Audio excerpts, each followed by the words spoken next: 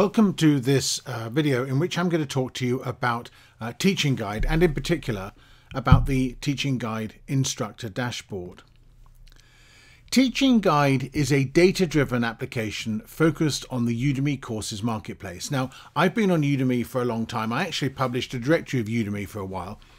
But I don't know about you, but I find actually trying to run my Udemy business is actually quite difficult. Udemy do give us some quite good reporting tools. They give us a very good insights tool, but it's not really the, the, sophistication of tool that you really want if you're going to run a business and continually work on it with KPIs, key performance indicators, which you can use to drive your business forward.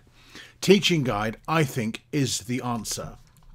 Now, Teaching Guide has an API application into Udemy, and it means that it can reach a, a huge amount of data that's inside Udemy and update it on a daily basis. It is designed to help instructors, affiliates, and Udemy students. Now, as an instructor, and I've been an instructor since 2013, you can use Teaching Guide to manage your Udemy online courses business, to monitor course performance, rank your courses higher, optimize your course reviews, promote coupons, find opportunities for new courses, and monitor your competition. If you're an affiliate on Udemy, you can use it to target the best and the highest converting courses to sell. And if you're a student, you can use it to research the best courses in a topic that you may wish to study. So let's now take a brief tour of the instructor dashboard to start familiarizing you with Teaching Guide. Is the instructor dashboard in Teaching Guide and we're going to take a tour to go through its main features and benefits for online instructors. And if you want to do this, you can do it yourself. You simply click on the Take a Tour button up here. This is your instructor dashboard on Teaching Guide. It updates daily data based on Udemy's affiliate API and calculates more complex metrics. Its main functions are to give you an overview of the success of your Udemy business, show you changes over time and trends for important metrics, see and sort all your courses easily by many metrics, click on those courses to drill down into its details, use the Monitored Courses tab to add competing courses and track them, also daily, export various reports and data for all your courses. So let's take a look at the dashboard step by step. Your instructor metrics. The first section of the instructor dashboard is to give you a quick overview of your most important metrics. What are trends? What are the changes within the last 30 days? And are you improving or not?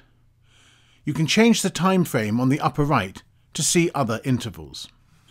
Your courses table. The courses table shows you all your courses with critical information about their performance.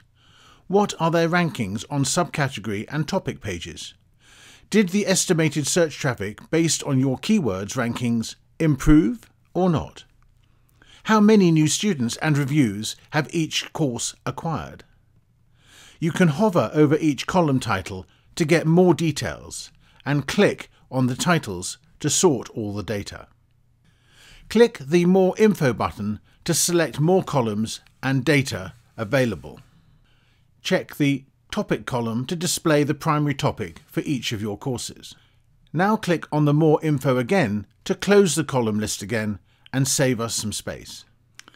Let's click on the Monitored Courses button and add a competing course we want to track. You can later click on the Add Course button or the plus symbol to search through the full course database. You should now be able to use the instructor dashboard to get quick insights on your progress and add competing courses to stay ahead. We could now go back to My Courses and click on one of your courses to dive into its details.